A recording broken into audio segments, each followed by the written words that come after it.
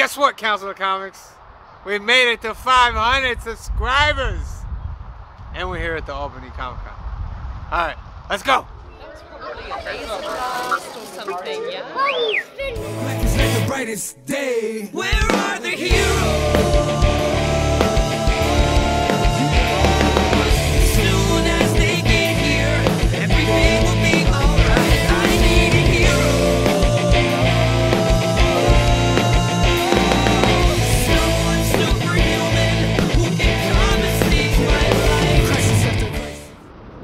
In the beginning, the life of the universe created the heavens and the earth. And the earth was void and without form. And the spirit hovered over the waters, melting the ice. And a voice from beyond said,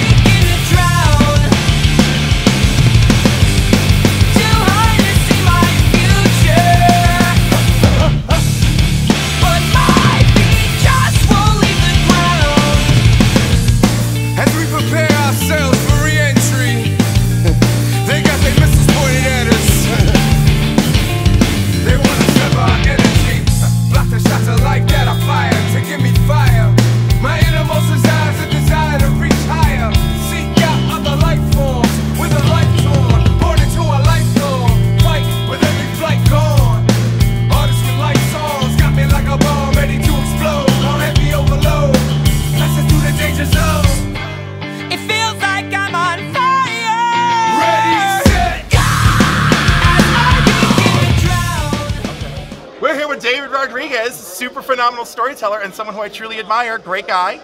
Thank you. Um, so, I mean, we've got Optimus. Yep. Scarlet. We've got Scarlet. Yep. Let's. T- I and I happen to really have enjoyed the Hasbro First Strike. Yep. Um, so, what was that? What? How did that come about?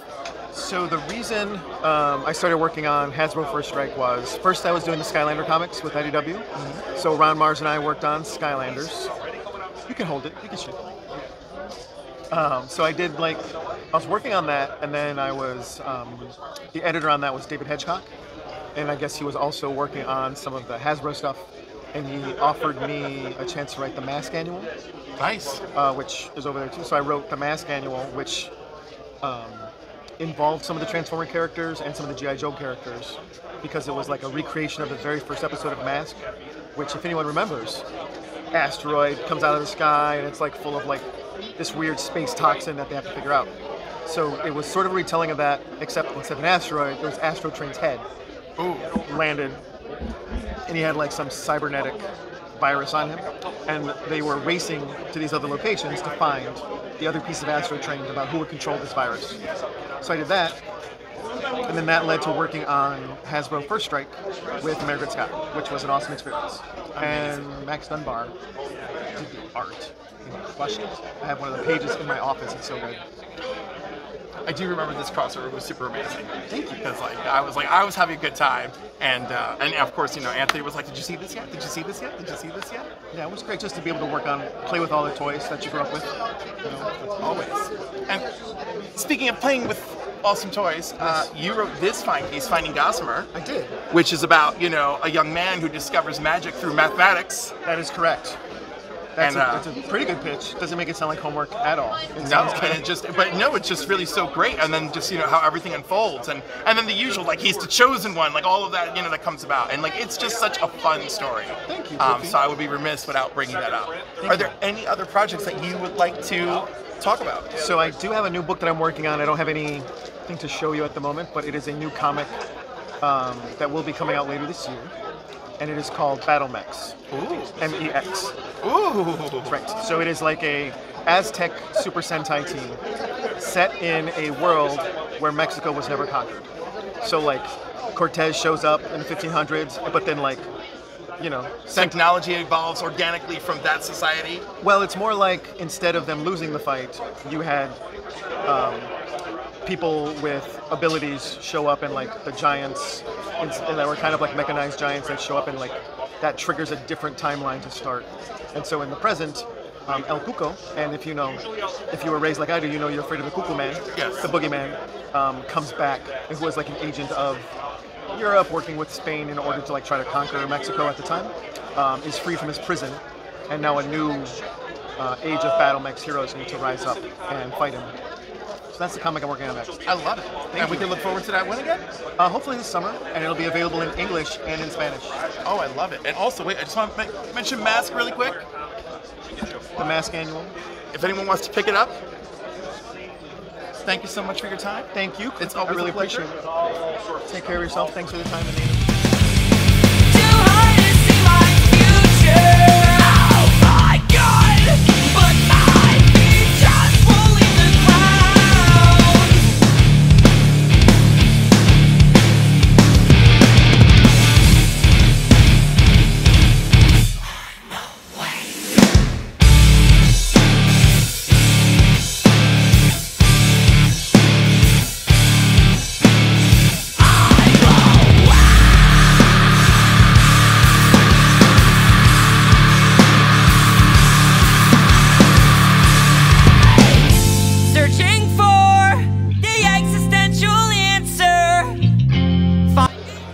Albany Comic Con. Where else? Where else would you rather be than right here, right now? Oh, we're at Albany Comic Con. So yeah, buying comics, looking at the bins, all that stuff.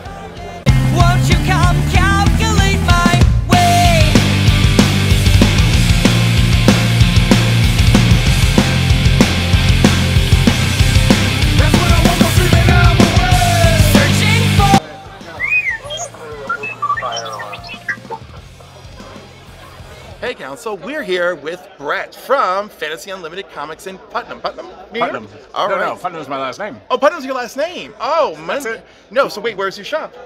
I don't have a shop. I've been doing this for 50 years without a shop. Oh, you're I do conventions, mail order, and I have people come over to my house. Okay, how can they find you online?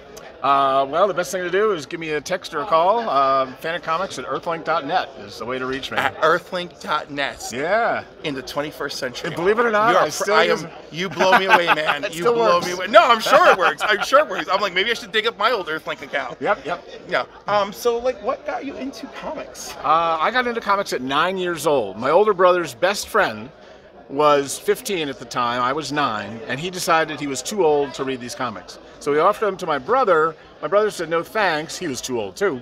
But he said, you know, my kid brother loves to read. And so one thing led to another. He wound up giving me his comic collection, and that got me started. And like, And that was mine. yeah, that was back in 1970. So my first show as a dealer was in 1976 Wow. in Hartford, Connecticut. Hartford, and I've probably done almost an a hour away from us. Yeah. yep. So I've done a thousand shows since then, and I'm still going strong. That's it. I wanted to ask him how old he was when he started. All right. So, how old were you when you did your first show? I was 13 years old. Holy cow! 13. My mom drove me. She was skeptical. I How much did you pulled pay for the table? Thirty dollars. That's big money back then. It was. And I, you know, I got all my comics graded and priced, and I did a lot of work, got them all ready. And then we did the show and did a bunch of business, but my mom wasn't really clued in on what was happening. So we packed up the car after the show, and on the drive home, she said, "So Brett, how much did you do? Did you do okay?" And I counted it up in the car. And I said, "I made four hundred dollars." And she's like, Wow. "Wow, that's fantastic."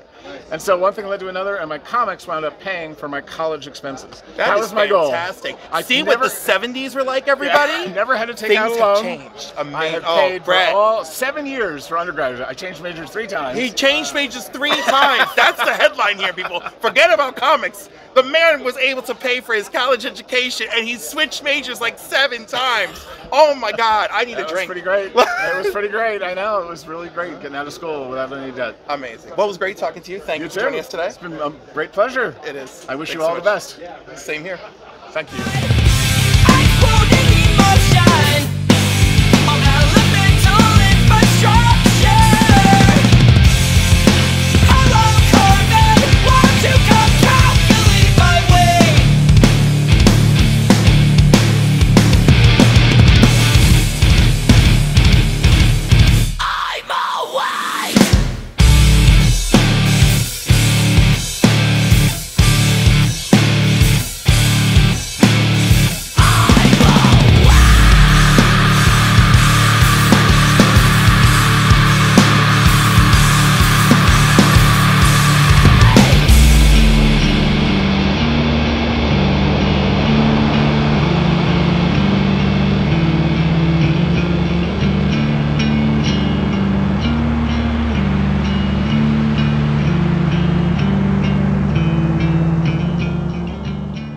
Council of Comics. I'm here with Ken from. Oh, yeah, we're here, uh, CNY uh, Comic Archive. We're out of Washington Mills, and if you don't know what that is, that is that's uh, where you go after you leave Utica going west. Holy cow! Yeah, so we came we, we came out uh, we came out specifically for the con today. We, we bought some comics, we sold some comics, we talked to some artists, checked out some toys. It was awesome.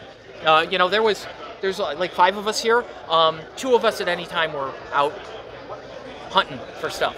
I love great. it. Yeah, I love it. So, Ken, how old were you when you got into comics? I first remember my first comics that I really loved, right?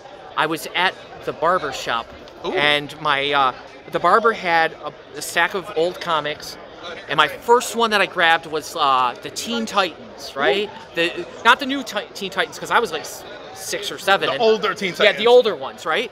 Um, Robin, Speedy, Kid Flash. yeah, Robin, Speedy, Kid Flash. I think the Joker's daughter was in there somewhere. All right, so Yeah. like So Wonder, was Wonder old, Girl old. was there too. All Wonder right. Girl was and there. Maybe and maybe Golden Eagle. Exactly, right? So I I I love that comic and there was another and I can't remember what it was. A lot of Flash, a lot of Green uh, Green Lantern, uh, a lot of Brave and Bold.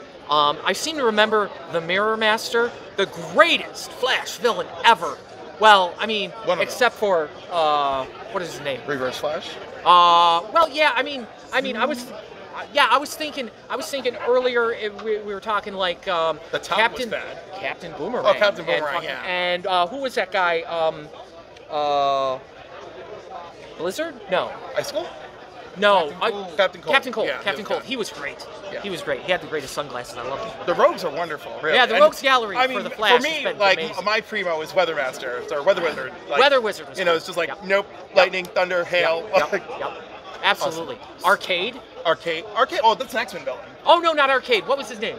Uh, Trickster. Trickster. yes. Trickster. Which Played- Mark Hamill played repeatedly, Am- marvelously. Amazingly. We could go all over the place with this. We could. Yeah, what's the next question? So, how old were you when you did your first show? Ah, well, I worked. I, I worked in a comic shop uh, in the mall in Utica when I was going to college, um, and uh, that was round about the time that two things happened.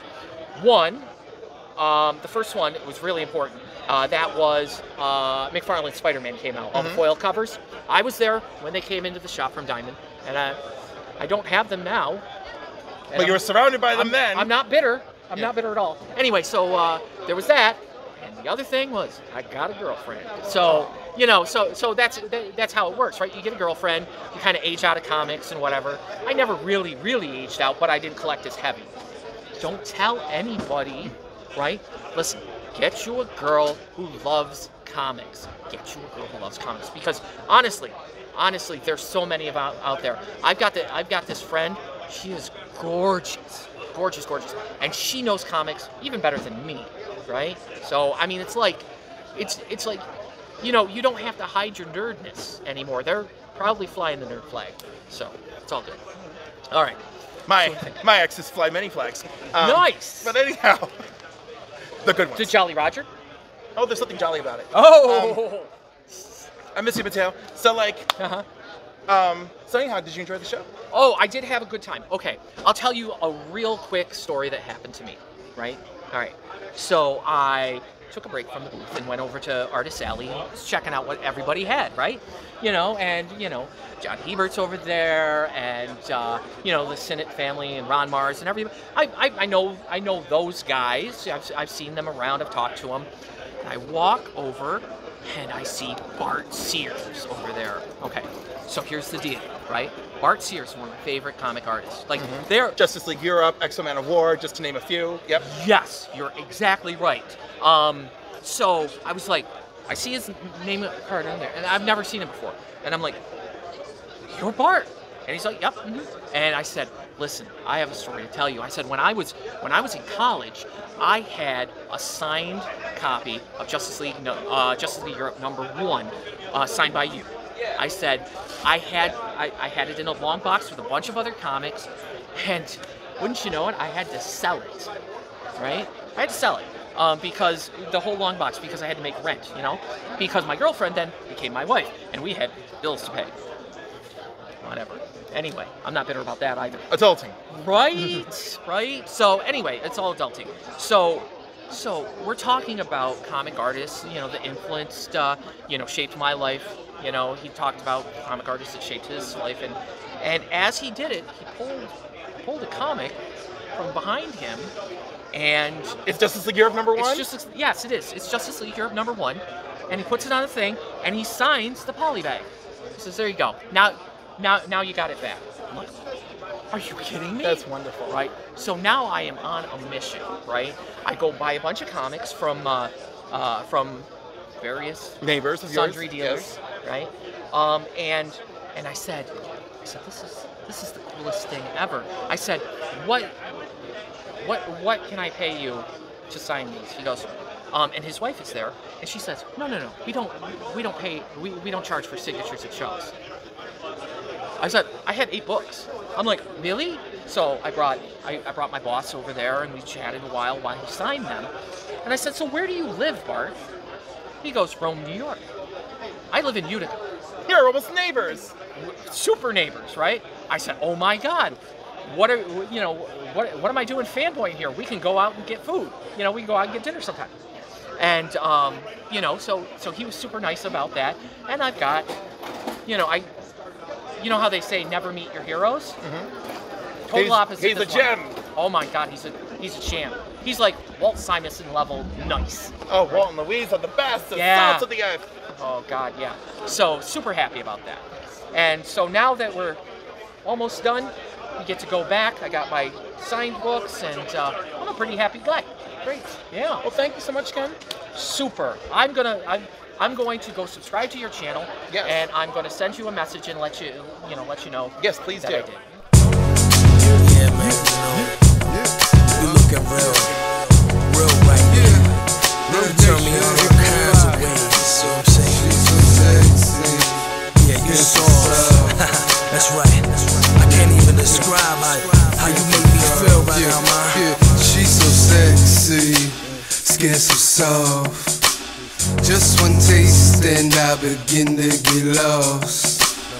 Her smell got me caught up. Can't tell if I'm asleep or awake. I do whatever it would take just to serenade my cases to show her that I got what it takes to replace. From her lips to her thighs, her hips to her eyes. She so fine, yeah.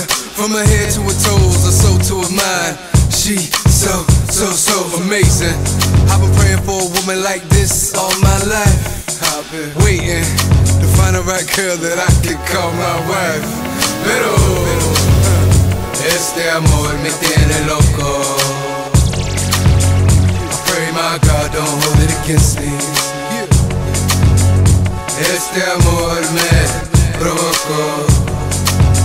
I hope for a job just to hold it against me.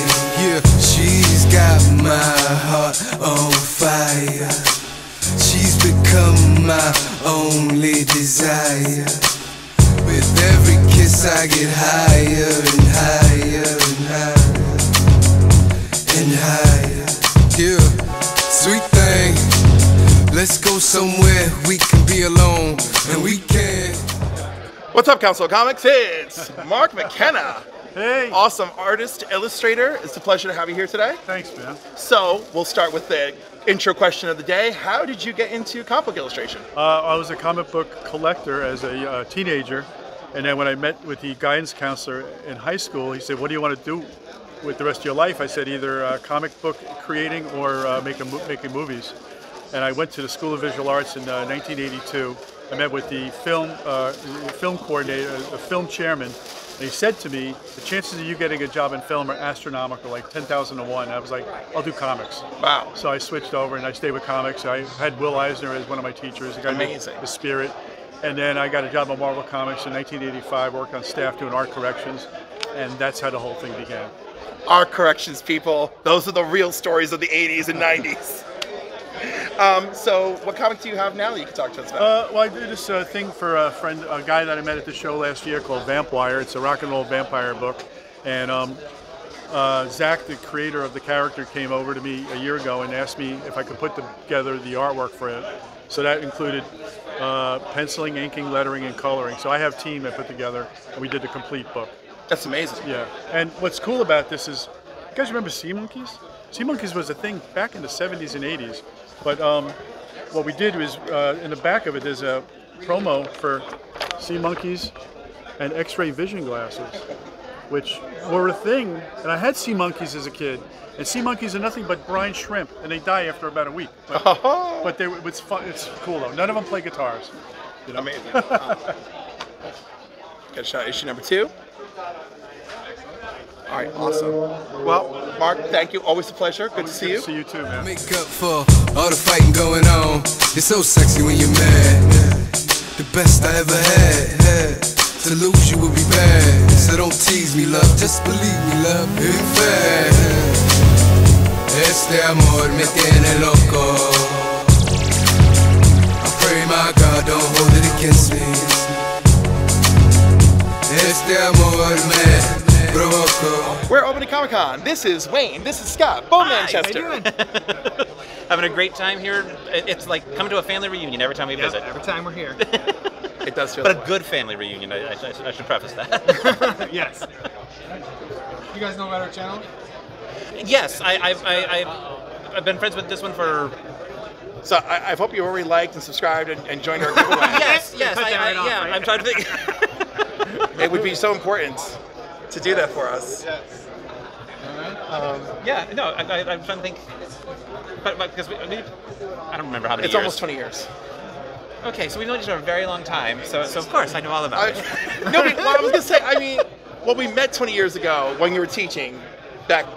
Oh wow. Back our way. Okay, yeah. Right. So like, obviously, you're still in education now, but like, yeah. So like, so like, that was like I saw you a little bit. Then when you moved, I actually saw you more when you moved up here.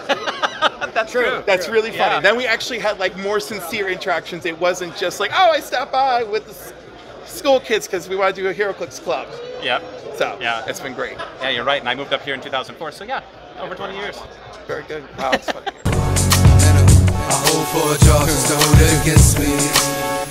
¿Qué te pasó? Dime algo que te tienes llorando, ¿qué estás pasando? Te amo tanto, dime de tu alma, aquí en mis brazos. It's where you should be, nothing compares to thee, don't compare to me. Nigga D, not like others, hated by the government, loved by mothers. That's what's over. Good, yeah. How you been? Good, good. Enjoy yourself out here? Enjoying myself, having a good show. Did some new prints, made a lot of business, made a lot of new friends. Uh, Nice. Network, some uh, good food. Get us some beer up at the bar. Yeah. Nice. Yeah. How You know you're always a good friend of the council. Yeah, I don't know that you guys are pushing it with that JR JR uh, stuff. You don't man. talk bad about JR, Yeah, I told you, I, I was wrong though. He can't kick everybody's ass. He can't kick your ass. I don't think. I was looking at you now. I don't think he can kick your ass. Undercovers, making them twist and shudder. As my tongue and lips discover how to love you the right way. Rubbing you like legs, she love to fight, man. Rihanna, she bite me. Her male friends don't like me. But see, more they speak, man, the more they hype me. All right, all right. What's up, Council of Comics? We're here with Mike McKone. Please tell me I said that right. You said it perfect. All right, great. And I'm, I'm too polite to say you didn't. So. No, but that's okay. But I like the truth. We're good. We're good. He is an amazing artist. Uh, you might be familiar with his work on Justice League United as I am. Maybe more so his work on X Men, which has been phenomenal. And it's such a pleasure to have you here today. Well, thank you. Um, so, first question: How did you get into comic book illustration? Oh, when I was 19 years old, I took my portfolio to a convention in London, and uh, Dick Giordano was there, who was the publisher of DC Comics Wow. at the time. And I showed him, I showed him my portfolio, and um, he said he would, he would put me in touch with one of his editors, and he did. And that was Andy Helfer, who was looking for fill-in work on the Justice League books.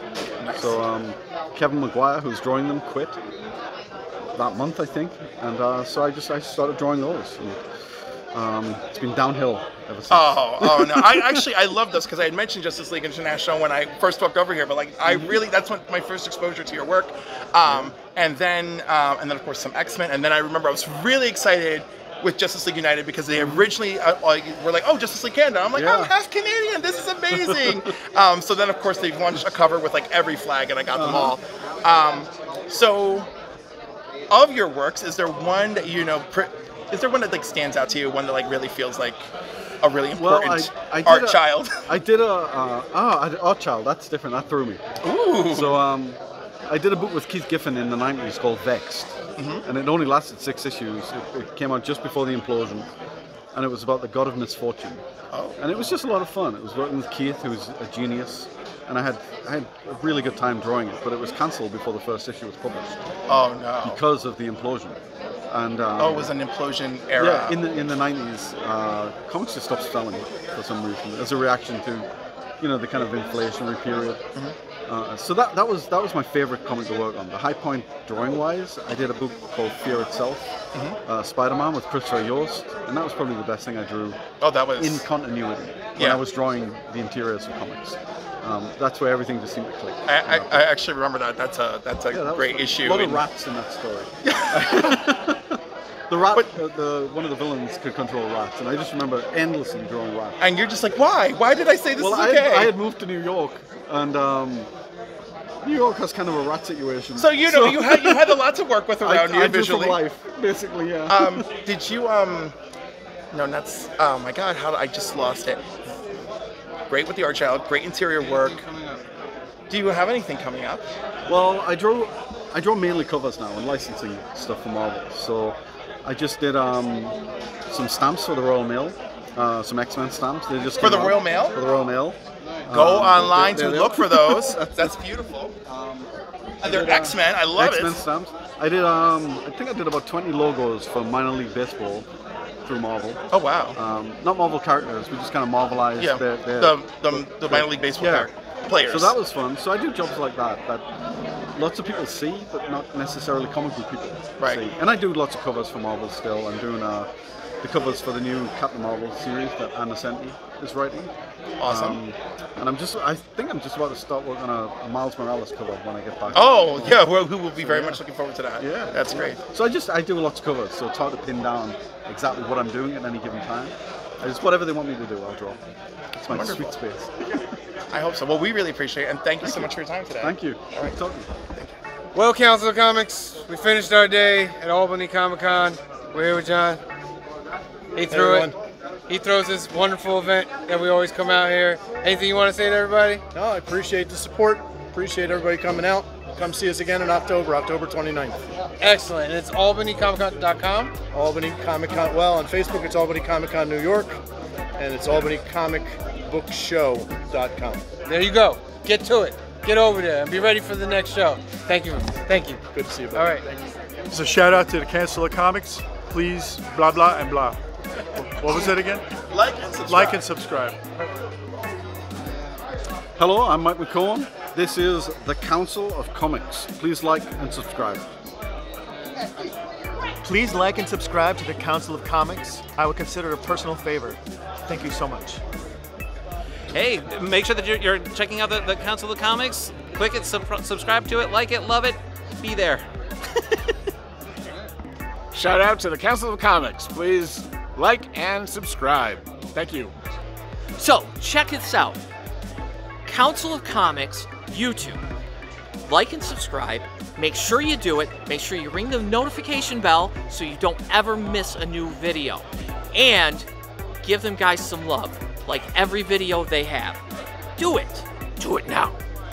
All right, Council of Comics, we finished Albany Comic Con. Thank you guys for joining us, and we'll see you next time. Peace. Woo! Oh, we did 500 subscribers. We did it. We did it. We did it.